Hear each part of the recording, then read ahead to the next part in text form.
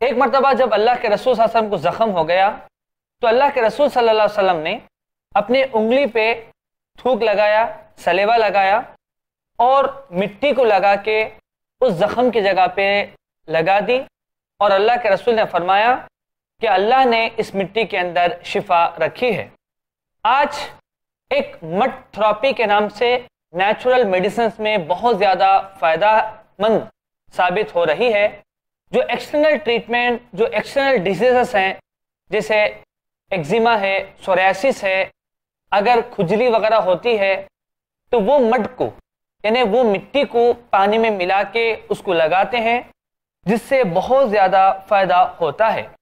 اسی طرح سے اللہ سبحانہ و تعالیٰ نے مٹی کے اندر بھی کئی شفا رکھی ہے۔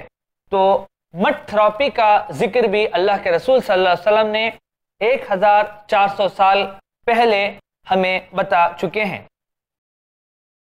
اللہ کے دین کی دعوت اور لوگوں تک پہنچانے کے لیے اس ویڈیو کو ضرور لائک، شیئر، کمنٹ اور سبسکرائب کریں۔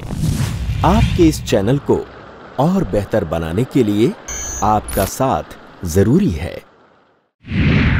آئی پلس ٹی وی، بہتر زندگی کے لیے۔ اپنے کیبل یا ڈی ٹی ایچ آپریٹر سے آئی پلس ٹی وی آج ہی ڈیمانڈ کریں۔ I plus T V free to air اور انڈین رجسٹرڈ چینل ہے۔